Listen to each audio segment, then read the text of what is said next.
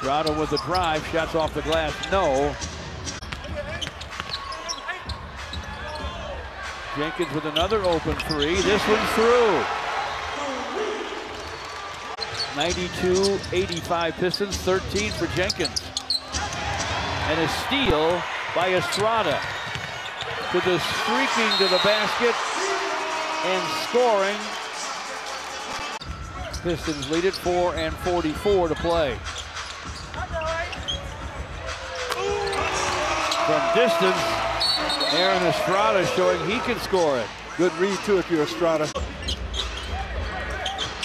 Working against Jaylon Tyson of the Cavaliers.